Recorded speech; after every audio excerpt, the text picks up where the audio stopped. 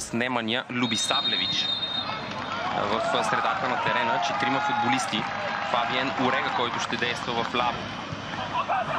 Позицията в дясно ще е заета от Оливер Буф. В средата на терена капитана в днешния ден Николас Горобсов. За това обаче след малко първа възможност пред вратата на Удогорец и резултата е открит. Още преди, уважаеми зрители, да се запознаем с 11-те, с които стартира. Жалгири се адаптира по-добре към това, което се случва на терена, за да поведе с 1 на 0. Възможно сега за Удогорец Дени Групер към Игор Тияго, който стреля. Негови удар обаче е блокиран. Рик Джонатан пред футболистите, които пропуснаха първата среща заради наказание следствие на червения картон срещу Динамо Загреб. Добър пас сега към Матиас Тисера. Той може да изравни резултата. Топката е във вратата. Един на един. Доста по-клиничен е ганаецът. Тогава, когато говорим за срещи в родния футболен елит, тук напрежение между Сисиньо и футболист на Жалгерис опита да препъне Сисиньо своя опонент, който опонент в тази ситуация Фабори в компанията на Хофенхайм, Истанбул, Башак Шекир и Браган, пък отпадна на 16 на финалите от италянския Грант Милан. Възможно сега за Жалгири с Симон Слуга с добра намеса. Атаката обаче продължава подаване в наказателното поле и това е второ попадение за домакините. В следствие на ранното попадение, което отбелязаха хората на Владимир Чебурин. Още един ъгов удар. Подаването отново изглежда добро. Точно изпълнение обаче. Асистира за третата такава на Антон Недялков. А именно то отправи и центрирането към Игор Тияго за пропуска на Бразилия. Път комбинира с Дени Групер. Доста по-назад обаче дойде топката от това, което очакваше израелецът. Игор Тяго връща назад към Рик Джонатан. Бърнар Текпете стреля. Страхотна намеса тук. Редно е да отчетем на още една ситуация, в която футболист зелено и бяло се адаптира по-добре към топката и единоборството, за да се стигне до нарушение на Якоб Пютровски и жълт картон. То най-общо казано, Жалгерис доста по-добре се наглася към единоборствата. Още една възможност за домакините. Опит за центриране. Второто също е отправено. Още едно неточно подаване обаче от страна на футболист на Удогорец. Още една ситуация, в която разграчани без особен натиск от страна на домакините позволяват на УЕФА. Матиас Тисера стои като голмайстор и автор на това попадение. Нещо, което обаче не е от толкова голямо значение, защото Удогорец отново е принуден да се отбранява. И то в каква ситуация? Оставя играта да продължи Харм Осмерс, въпреки трудностите на Оявуси. Пютровски към Текпете, който ще стреля към вратата на Жалгирис и не бе никак далеч от това да призове Едвина 1 на 0 тук на ЛФФ стадиум което само единствено ознаменува добрата поредица от резултати на литовците в техни домакинства в Европа, за да се стигне до ситуацията и 16 загуби в 48 срещи.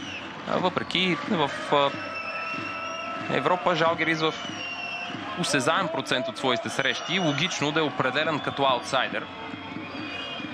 То следствие не толкова на атмосферата, която създават домакинските фенове, а по-скоро на изкуствения терен. Жалгирис успява да се справя със своите опоненти. Тук обаче Лудогорец пък се справя с отбраната. В крайна сметка до този момент и двата тима стигнаха до две попадения.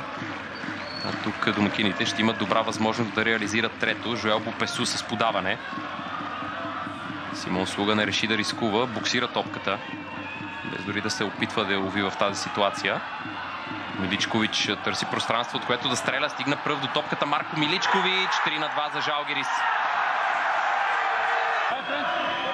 Още веднъж ясен пример на това как подхождат литовците към срещата в момент, в който отново са напред в резултата, прибрани в собствената половина, компактни от израелския Апоел Телави. Даване към Рик Джонатан в наказателното поле. Рик опит да стреля. Той обаче бе неточен. Удар бе блокиран.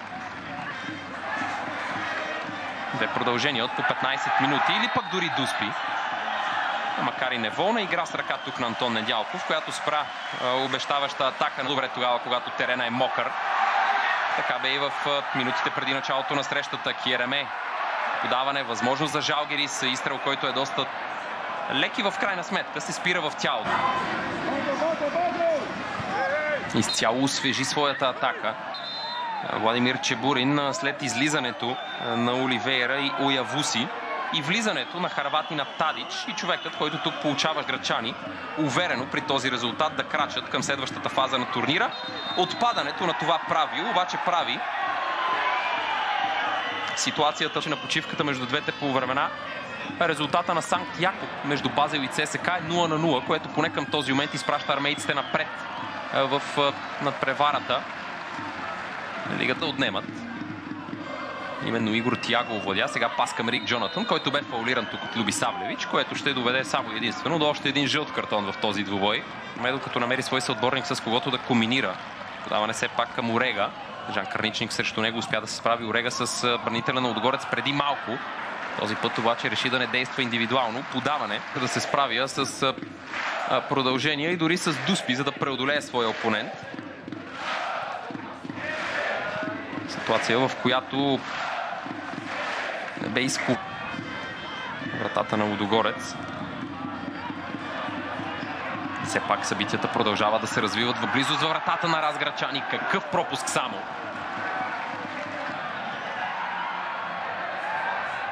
Няма фал тук на Жоржиньо, но пък и неговия пас бе неточен. Мануел Шоу.